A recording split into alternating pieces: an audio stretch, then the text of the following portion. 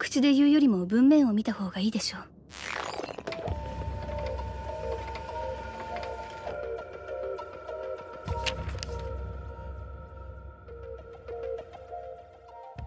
これは。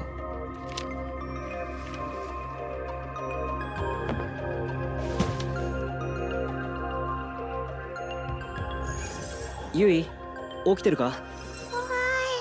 おはようございますパパ寝ていたところ悪いがゆいこれを見てくれ。これはセントラルカセドラルのフロア名称ですね。ええ。第二修練場は52回媒体保管庫は68階。元老院は96階。地理記録室は58階にあります。これは IP アドレスかはい登るべき白き塔は2行目のアドレスそのものを指しているものだと思われます。そして登った先でかの世界に至るということはこのアドレスが示すサーバーはつまりそうか。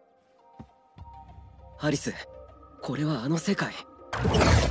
アンダーワールドにつながる道なんだ。